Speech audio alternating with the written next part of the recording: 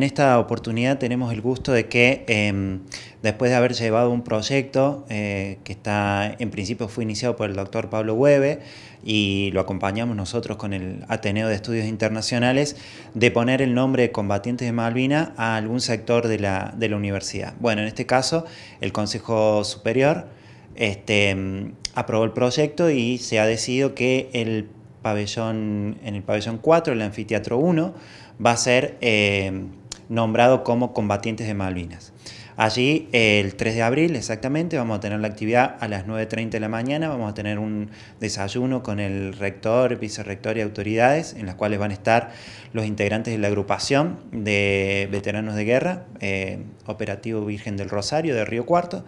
que son los que han acompañado este proyecto. Posteriormente, a las 10 de la mañana, se va a descubrir la placa poniéndole el nombre al anfiteatro y también un mural este, conmemorativo de eh, los 36 años de la Guerra de Malvinas. Eh, esas van a ser las actividades que tenemos planeadas y que el Ateneo de Estudios Internacionales los invita a, toda la comunidad universitaria a participar el 3 de abril a las 10 de la mañana en el anfiteatro 1 del pabellón 4. La propuesta eh, siempre estuvo con la participación de, los, de la agrupación de veteranos de guerra, ellos acompañaron todo el proceso, eh, la universidad por su parte también nos acompañó y la verdad que una vez que fue aprobado el proyecto, el Departamento de Arte eh, fue convocado para la realización de este mural, se hicieron distintos bosquejos,